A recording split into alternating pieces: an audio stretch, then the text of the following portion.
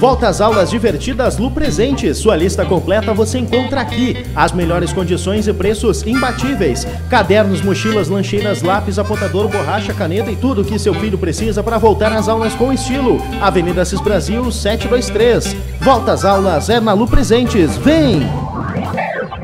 Será realizada nesta terça-feira, 20 de fevereiro, uma reunião entre o superintendente do DENIT Tiratã Pinheiro da Silva, juntamente com o prefeito de Tapes, Silvio Rafaeli, e de Sentinel do Sul, Flávio Trescastro, para tratar como ficará a situação do trevo de acesso aos municípios para o avanço da duplicação da BR-116. A reunião que será realizada na sede do DENIT em Porto Alegre, organizada pela Frente Parlamentar em Defesa da Conclusão da Duplicação da Rodovia.